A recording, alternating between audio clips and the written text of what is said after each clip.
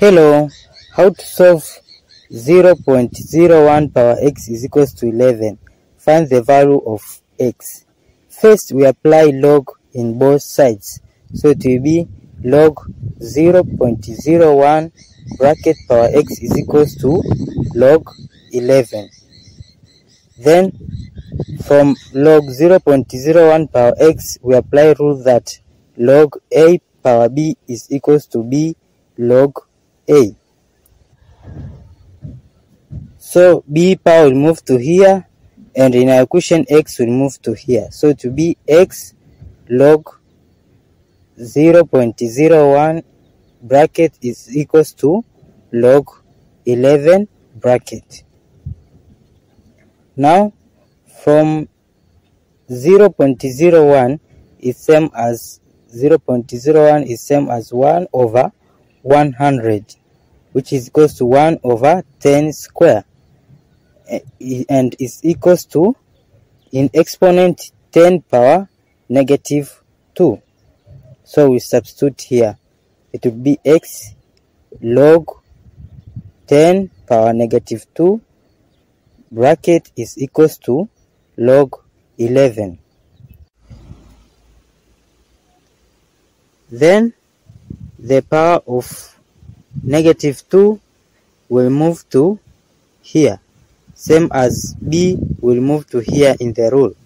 So it will be negative 2 times x is negative 2x log 10 is equals to log 11 now from log 10 base 10 this is base 10 also so log log a base a is equals to 1 so from here log 10 base 10 is 1 so to be negative 2x is equals to log 11 then we divide by negative 2 in both sides. So this will cancel. So x will be equals to negative 1 over 2 log 11 now